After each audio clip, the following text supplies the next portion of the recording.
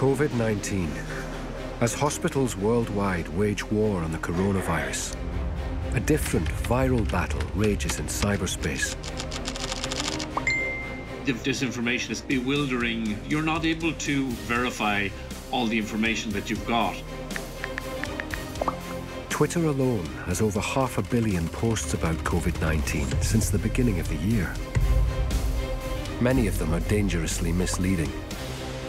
Empty. Everywhere is empty. In our hyper connected world, the online chatter ignites fear and confusion. You hold your tissue because somebody will. I cannot guarantee you. It also rallies people together for the greater good. You're so touching. 我更希望的是，网上的有好心大哥大姐们，把你们的车拿出来，免费，我们一起来为武汉人民，我们做一点贡献。武汉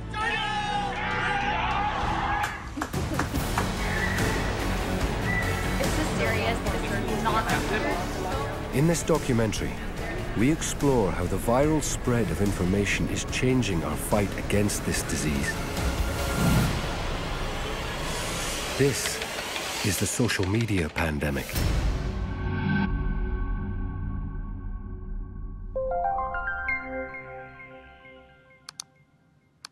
Tenth of January, 2020.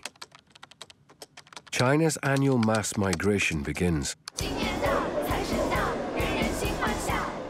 Every year, hundreds of millions return to their hometown for the Lunar New Year. But this year, a hidden passenger is hitching a ride. The world's largest movement of people is about to exacerbate a disease outbreak.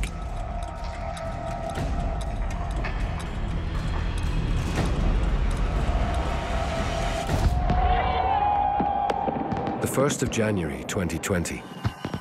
As the world ushered in the new year, authorities were closing down a seafood market in Wuhan, China. 27 people, most of them linked to the Huanan seafood market, have fallen ill from a mysterious virus. At first, it was thought that the virus jumped from wild animals sold here to humans. But on the 20th of January, with infections rising rapidly in Wuhan, Chinese health authorities finally confirm human to human transmission. It triggers public concern about what scientists identify as a new coronavirus. Data on China's largest social media platform, WeChat, records a sudden surge in the usage of the Chinese term for coronavirus, with more than 200 million mentions. Within a week, the number of confirmed cases jumped from 41 to nearly 600. Not just in Wuhan, but across China and abroad. The epicenter of the outbreak, Wuhan, comes under lockdown.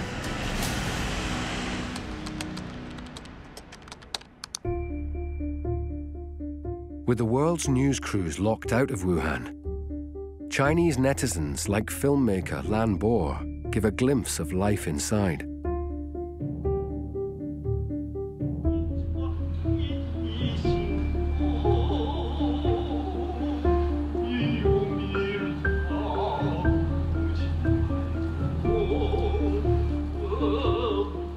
The once bustling boomtown of 11 million people is reduced to a ghost town.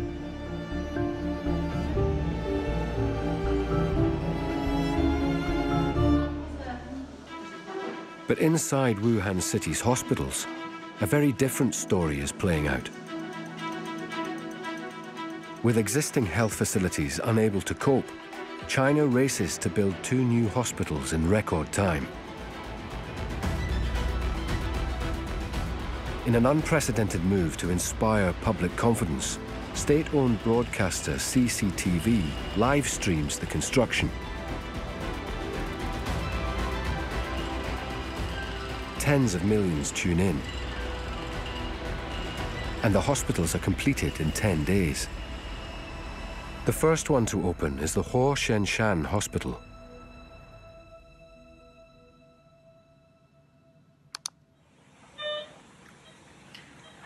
Hello, 我就是第一批来火神山的患者，刚来的时候咳都不带停的，喘的也很厉害。Wan Chun Wei's viral video blogs give the world a rare glimpse inside the hospital. 洗手池。大家好，我今天早上刚刚给我抽了一管儿血做检查。火神山医院的医生护士真的太棒了，一直在这儿日夜轮班接场，他们都是冒死前来。Wan's social media account swells to hundreds of thousands of followers, all curious to know how he's doing.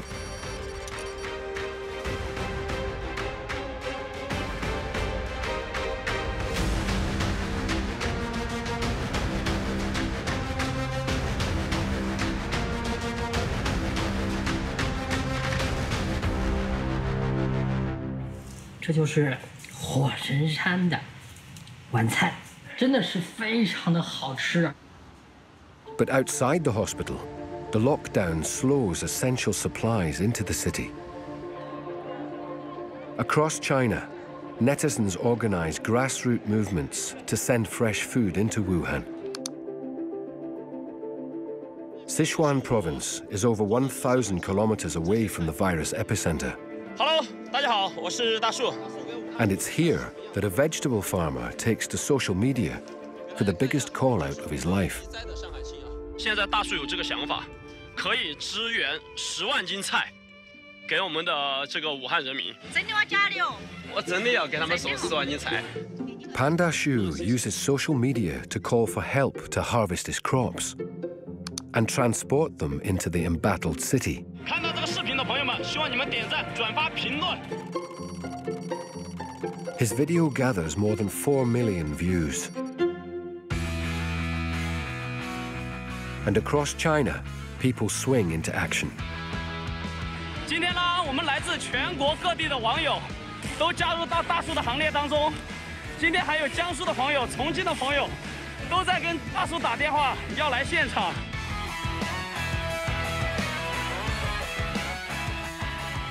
现在已经接到了我们这个绵阳三物流的这个司机啊，他们这个车子太长了，哦，这个车子十七米啊，十七米的大货车，这个要装好久了。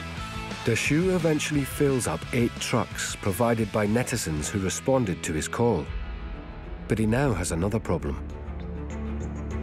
With Wuhan under strict lockdown, will his trucks be allowed in without any form of authorization? 我看一下行不行。反正大叔是尽力了啊，就是没人接。His live stream followers watch as he hits one roadblock after another. 我现在要联系武汉那边的洽接方啊，就是我们的物资过去的话，谁来洽接这个事情？防空物资保证专线。您好，您拨打的电话暂时无法接通。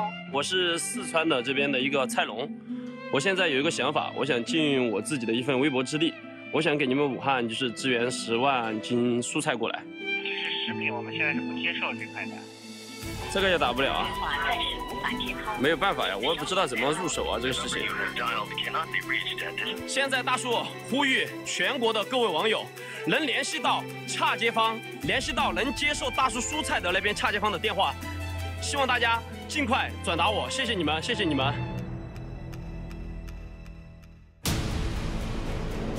By this point in early February, Wuhan, along with much of Hubei province, has been in lockdown for two weeks. But the virus is one step ahead. Over 9,000 cases, or nearly a third of the total cases, are found outside of the province. Anhui is among the five provinces with the most cases outside of Hubei.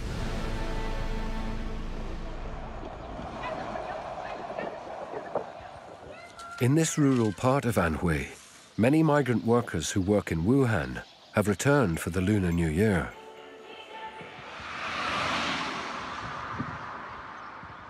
But there's a growing fear they brought the virus with them. To contain its spread, local officials like Wei Chansun serve as gatekeepers to enforce travel restrictions. Outsiders are not allowed to enter, and locals need a permit to exit. 就设立了疫情防控卡点，我负责两个村，两个村有一万人，我在为一万人在战斗。 Unable to go home since the Lunar New Year, Wei keeps his family updated by posting pictures and videos on his social media page.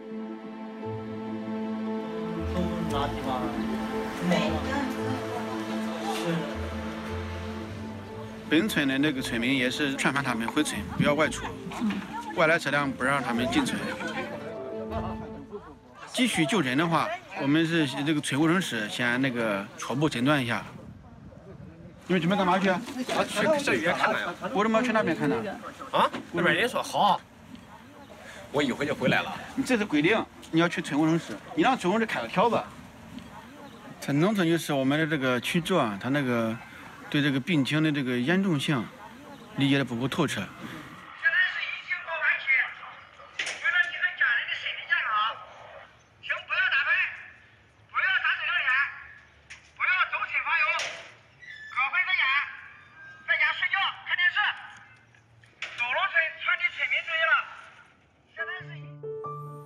喂，家里面吃的可有了，可不？我不冷。啊，吃的有啊，嗯，给我吃的呗。都够吃的，家里面什么都有。啥时候回来？ Wei hasn't been home for weeks and doesn't expect to until the virus is contained. 我和我们同事们都一样，都疫情工作开展以来都没回家，就防止我们还是存在一定的风险，并不是一点风险没有，存在一定的风险。然后，嗯，恐怕就是别有什么事儿，别 影响到家人的健康。对对，有一次家里没有没有没有菜吃了，没有菜吃了，因为小区那边是封闭式管理嘛，没有菜吃了。我就在乡下，乡下买点蔬菜，那个往家送送一次，送一次到楼下我也没上楼，也没有跟家人见个面。嗯，想念肯定是想念的。Back in Sichuan, Vegetable farmer Da Shu has been trying for days to contact Wuhan officials to allow him to transport truckloads of vegetables to the city under lockdown. He appeals to his followers for help. And it works. Within days, netizens help him reach out to officials for travel permits. 的车队正式开始出发了，三辆大卡车的萝卜，祝你们一路平安，保护好自己。Da Shu sends a total of 75 tons of fresh vegetables into Wuhan. Mission accomplished. “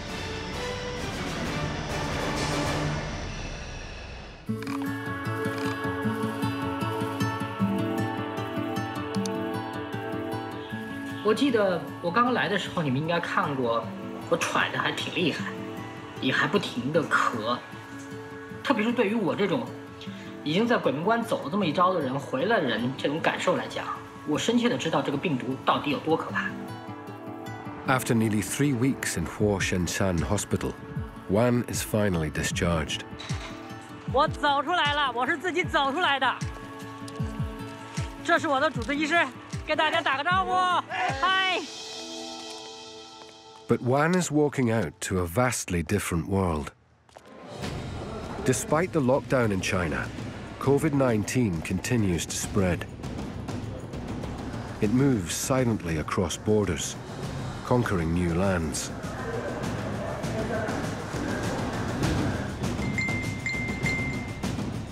But spreading faster than this sickness is something equally insidious. They created this crazy. A new wave of fear and discrimination.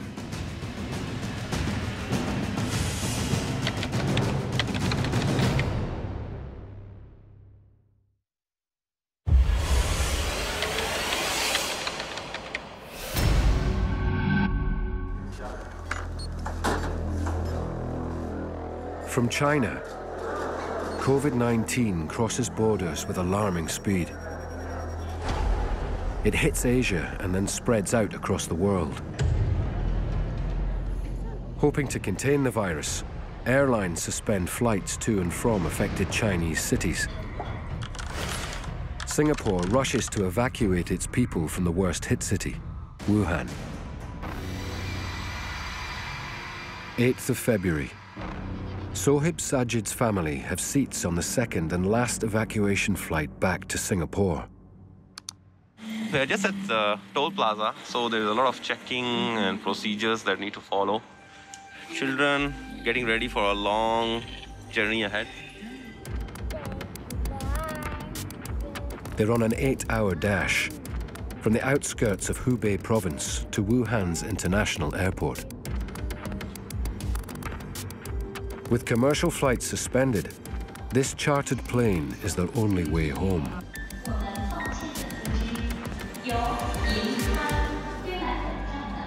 It has been freakish two, three hours in a queue to pass the quarantine, immigration. Uh, it was a long journey from Hanxi to Wuhan. And what you see in front of me is my plane back home. Sohib's family are among 266 from Singapore evacuated from Wuhan on two charter flights. He feels compelled to document their journey on YouTube. I'm a YouTube fan, and the, the circumstances are so unique. Not a lot of people might know like how it is to like come up from the lockdown area. When this kind of situation happens, people sometimes misuse the information or the news, right? So what I had on my phone was actually something what that was real and documented. So finally, our plane has started taxi towards the runway. Samar, do you have anything to say? I'm going home. Mama, Atia, Gambe! Gambe! Sohib's family goes into 14 days of quarantine. After seeing his experience online, the gravity of COVID 19 becomes clear to his social media followers. Some of friends will message me that it's quite worse than what we were thinking. And we have an update for you from here in Singapore. Singapore has confirmed its first cases of local transmission of the novel coronavirus. The latest cases include a six-month-old infant. We have stepped up our risk assessment from DORSCON Yellow to DORSCON Orange. DORSCON Orange is Singapore's second highest level of alert for a disease outbreak. It's only been activated once before, in 2009 during the swine flu pandemic. The alert announcement triggers panic buying. Irana, Irana. Social media posts fan the flames of fear, and it fuels more stockpiling. But Singapore isn't alone. Unfounded rumours swirl on social media of a looming global shortage of toilet paper. Because the world's top exporter, China, is under lockdown.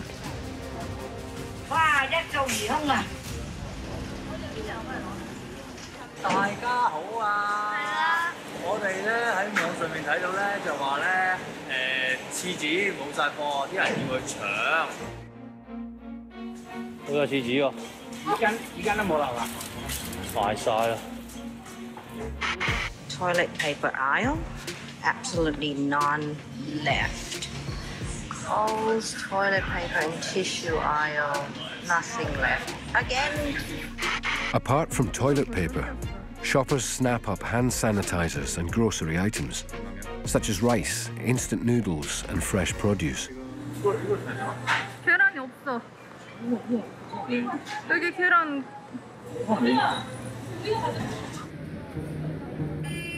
Face masks are in high demand. And in South Korea, scenes of long queues to buy them go viral, prompting even more people to queue up just to stock up. 끝이 어디야?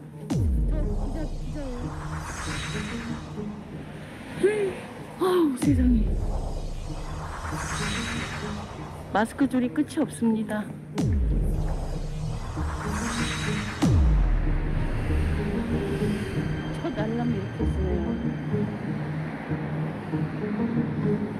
原本咧以为铜锣湾某间药房卖千百蚊五十个口罩已经觉得好贵啦，但头先那间仲贵，一百八十蚊先得三个口罩，真系好贵咯。The internet quickly becomes a black market for face masks. Some are sold on e commerce platforms, others over social media. It becomes difficult to tell which sellers are genuine. In Singapore, nearly a thousand buyers fall prey to scammers, losing more than $400,000 in total. Singapore's Prime Minister Lee Hsien Loong addresses the nation in a call for calm. But fear can do more harm than the virus itself. It can make us panic or do things which make matters worse. Like circulating rumors online, hoarding face masks or food, or blaming particular groups for the outbreak.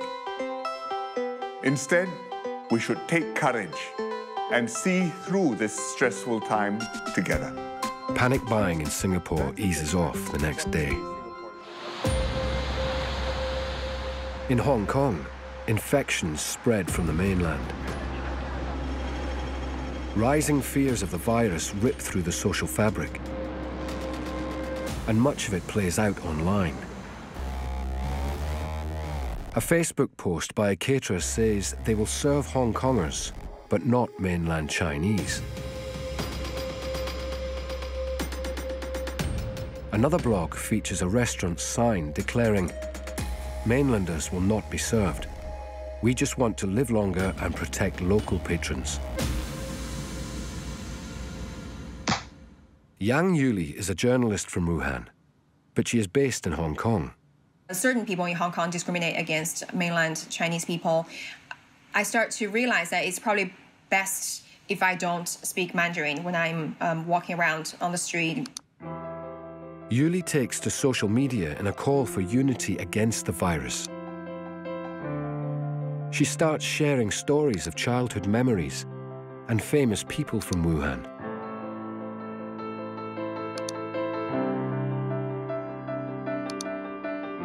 I was hoping that by telling people what I love about Wuhan, it could contribute to bridging that gap between Wuhan and the rest of the world.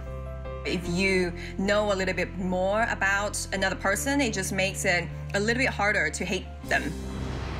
Her post attracts tens of thousands of interactions on Facebook and Twitter. And it popularizes the tagline, Go Wuhan. But infection rates are still high, and Yuli's family remain at risk. With a growing following online, she calls on netizens worldwide to send her messages of well wishes to the people of Wuhan. Yuli and friends translate the messages into Chinese and repost them on Chinese microblogging site Weibo. Her microblog is viewed over 3 million times. There is a real impact that these messages of love and compassion can have on on them to know that you are not alone, to know that you are supported. That gives us a chance of fighting back this virus and potentially win.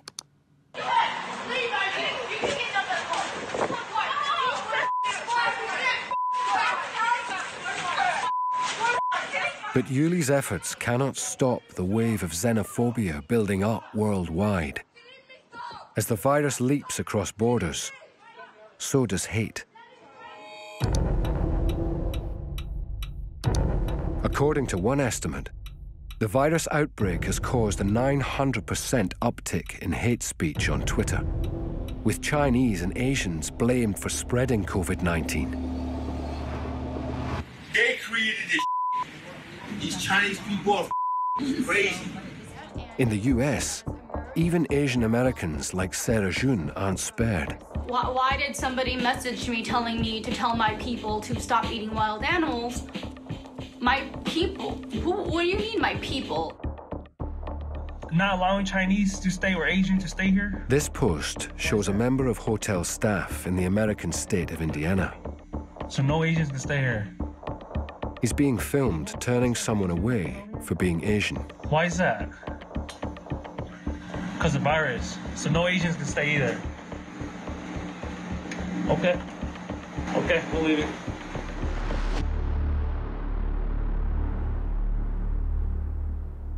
I'm from Singapore, and it's a small island nation in Southeast Asia, and not China, as I've had to explain to some of my American friends.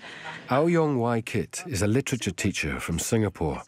He's seen here at this 2014 forum in London, speaking about the politics of race. So, based on the official categories, first introduced by the British colonial government, He believes social media enables people to amplify their prejudices. we're facing a serious threat like never before. Uh, not just of the virus, but of paranoia and xenophobia. Death to communism!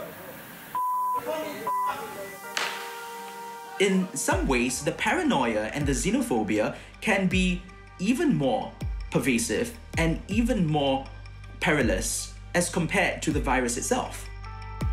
Wai Kit decides to use social media as a force for good. His weapon of choice? Literature. We scramble for Mars.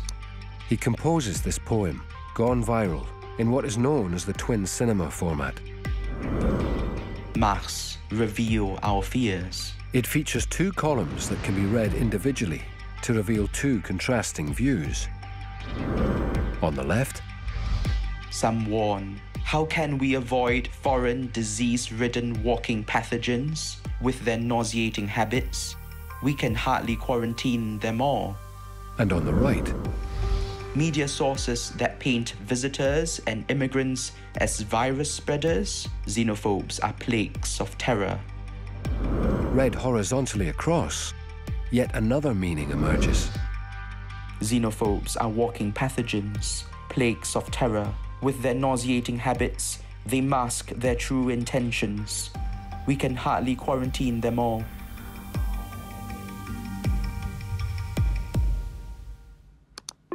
Wai Kit shares it on Facebook, hoping to spread the message beyond classrooms. His poem finds resonance across many borders. I received numerous emails and messages from students and educators around the world. When you have people sharing other people's shares, that's when we can see the viral nature of information dissemination through social media. That is an incredibly powerful feature of social media, and it's something that we need to harness for the greater good. But even as some harness the power of social media for good, the sea of online misinformation grows as COVID 19 finds one new epicenter after another.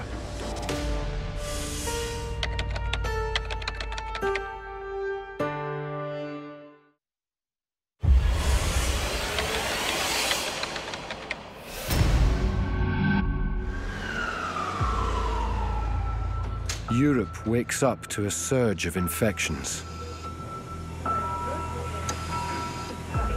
March 2020. COVID 19 can be characterized as a pandemic.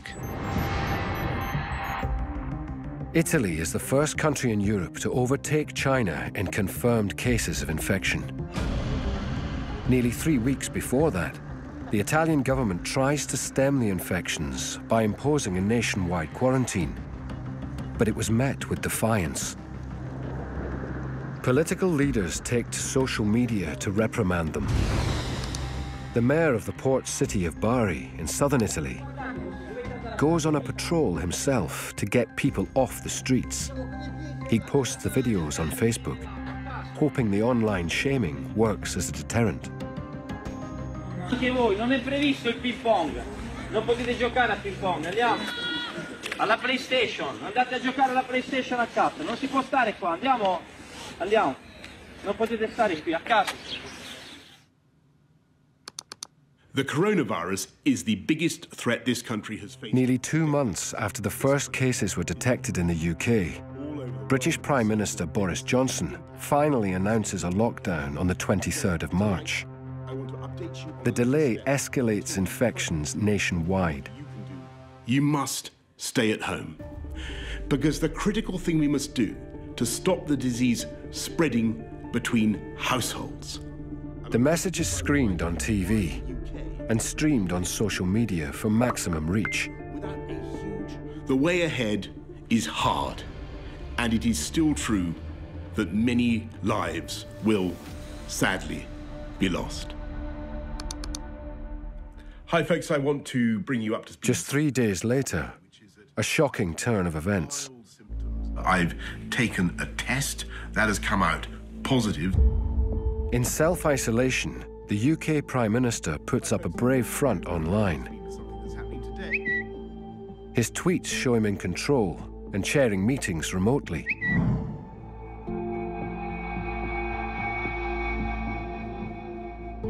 Then came his tweet that he has gone to hospital, and a government confirmation that same night that he is in intensive care.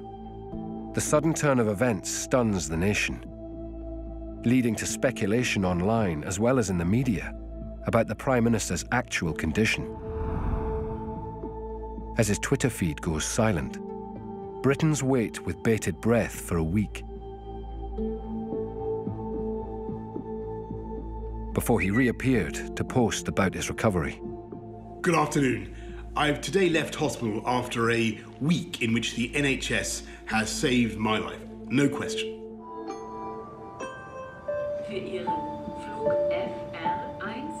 In late March, most of Europe closes its borders to non citizens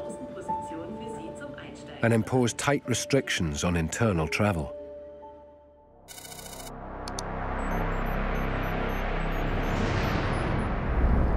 Google Earth images show what the Vatican usually looks like, teeming with visitors.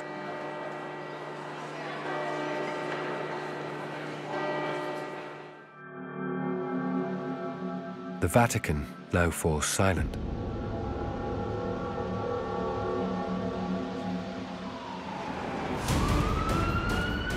And the nightmare is only just beginning in the United States. After an initial shortage of test kits, America remains slow to carry out widespread testing. Infections skyrocket, medical supplies dwindle, and hospitals buckle under pressure. Hi, I'm Kelly. I am an ICU nurse in Manhattan. We are reusing what is meant to be one time use only personal protective equipment. That includes um, N95 masks, surgical masks, gowns, and face shields. We look around and frustratingly, we still see large groups of people continuing to gather, ignoring medical advice, and acting like this is no big deal. The governor of New York, Andrew Cuomo, amplifies Kelly's appeal by sharing it on social media. The governor's tweet sends more than 200,000 pairs of eyeballs to Kelly's post. But it's drowned out by unreliable information that spreads far and wide on social media. In Iran, hundreds of adults and children die from methanol poisoning after they fall for a fake remedy on social media. In Indonesia, the World Health Organization warns against believing viral Facebook posts that suggest smoking prevents COVID 19. In South Korea, a church official sprays salt water into the mouths of churchgoers, duped by misinformation that it prevents the virus. A total of 46 followers are infected. In a world desperate for a cure, US President Donald Trump tweets that an unproven drug cocktail could treat the virus. It attracts more than half a million interactions. So chloroquine or hydroxychloroquine. Now this is a common malaria drug, and it's shown very encouraging, very, very encouraging early results. I think it's going to be great. These claims are unfounded, and even the US government's top immunologist urges caution. But misinformation respects no borders. Trump's endorsement has far reaching consequences. In Nigeria, a health official tweets that hospitals across Lagos are seeing patients suffering from chronic chloroquine poisoning.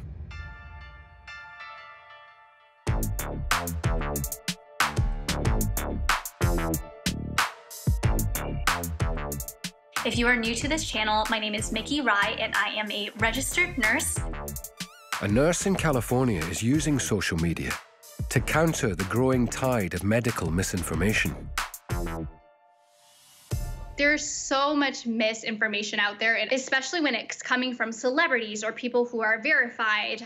And when you recommend things, people buy them, people seek out those products. And so it's really important to be careful and conscious with your influence. Most of Miki Rai's online followers are teenagers and young adults. She uses accessible language to drive home the message of care and caution.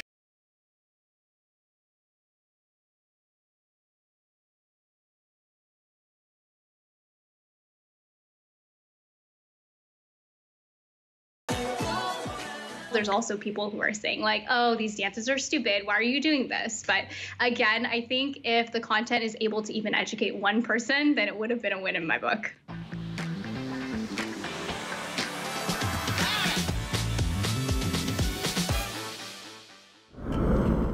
Eoghan Sweeney is an expert on verifying online content.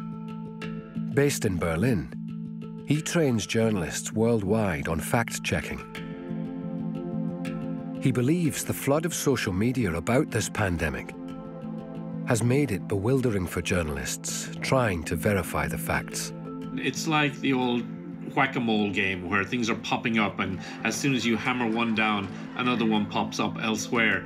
Some people stand to make money by either selling you products or services.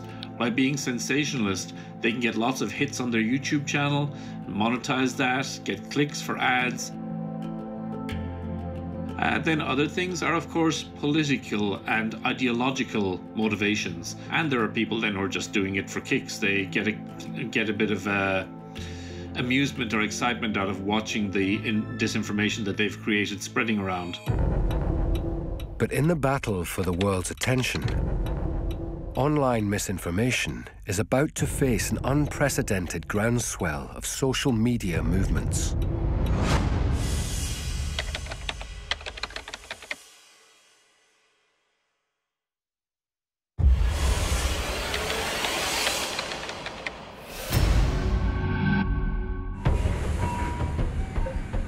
As COVID 19 spreads around the world, because of virus.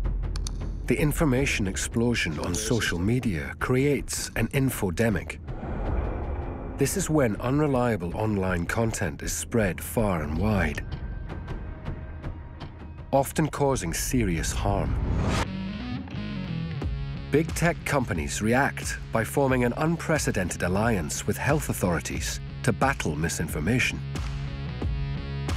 Anyone searching for keywords relating to the virus will see a prominent banner directing them to official sources,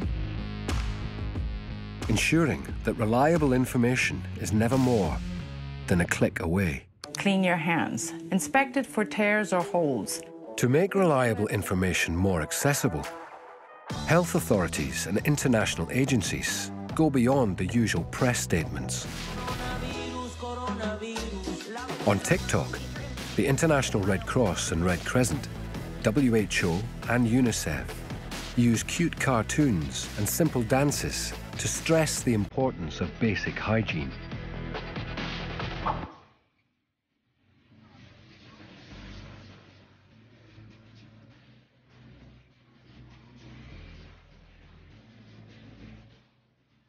Working with the Vietnamese government, Vietnamese artist Quang Dang uses a catchy tune to show how good hand hygiene keeps the virus away. It becomes a worldwide dance craze across social media.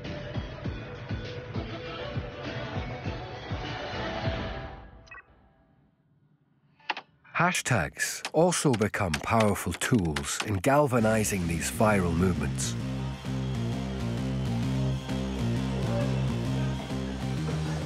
Celebrities use hashtags on their posts to help spread important messages. The hashtag Stay at Home Challenge is spearheaded by famous footballers, reminding their fans to stay at home. In Singapore, hashtags inspire kindness for discriminated frontline health workers. We started Braveheart SG because we were reading in the news people some people were bullying nurses. Wally Tam heads a group that creates campaigns to get Singaporeans to be more gracious to each other. He takes action after seeing posts on social media about public transport commuters accusing nurses of spreading the virus.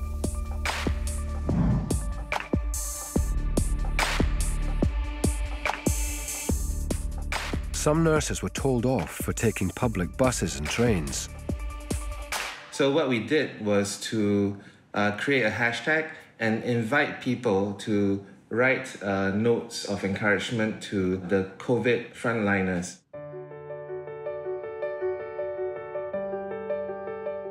We didn't expect over 6,000 submissions through social media.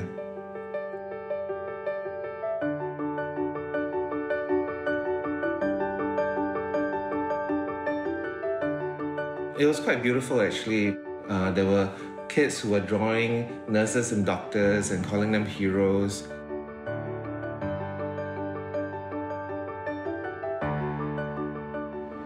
The team prints out the messages and distributes them at hospitals and polyclinics.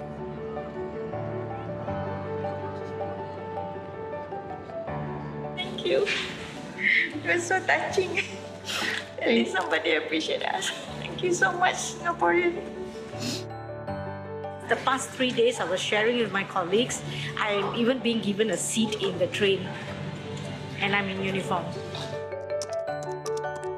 Hashtag Braveheart SG go on to inspire similar campaigns around the world. More hashtags celebrating the heroic efforts of healthcare workers also go viral.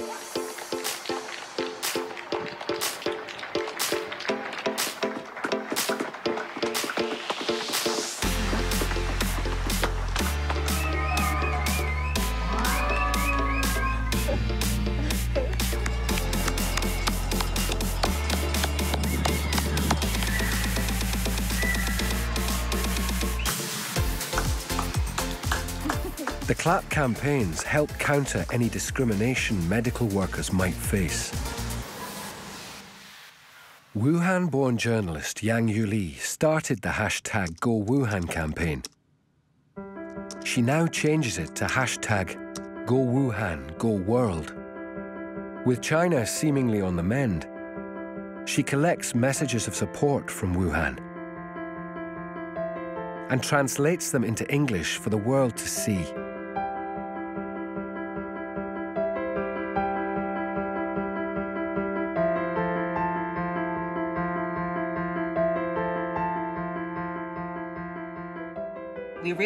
That people in Wuhan have um, potentially a lot of tips and advices that they could potentially share um, for the rest of the world. These um, experiences could be helpful for the rest of the world, and it is time kind of for Wuhan to make its own contribution to this global fight against the virus. In April, China finally lifts its restrictions, and Chinese social media is awash with scenes of hope and homecoming. 快跑！出武汉了还不跑？呃，出武汉离武汉的这个路程上高速的，你看路上的车这么多，都是要回家吗？ In neighbouring Anhui province, it's time for Wei Chanson to go home to his family. For two months,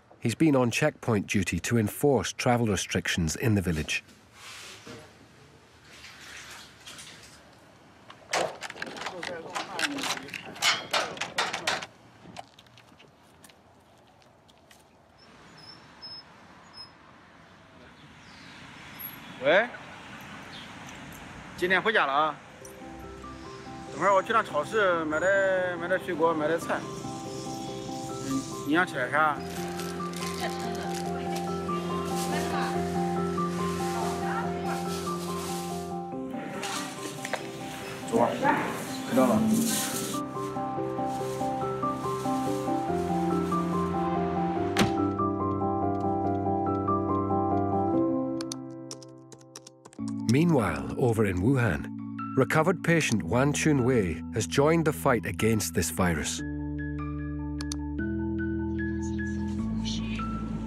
开车前往中部战区总医院献血的路上，心情特别激动。而每一位病友们，你们也千万不要抛弃，也不要放弃，你们一定要加油！我们大家都来救你们了。Chinese health authorities believe antibodies in the blood of recovered patients might provide the best short term treatment for severe cases. It was a method used to combat the Ebola virus and SARS, the severe acute respiratory syndrome. Using his social media reach, Wan makes a call out to other recovered patients. 痊愈者，你们的血，它可以挽救很多很多的生命，请大家一起来努力。